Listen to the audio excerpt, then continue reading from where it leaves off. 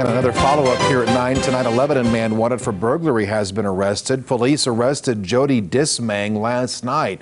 According to police, authorities got a tip that Dismang was hiding out inside a home on Garfield Street there in Lebanon.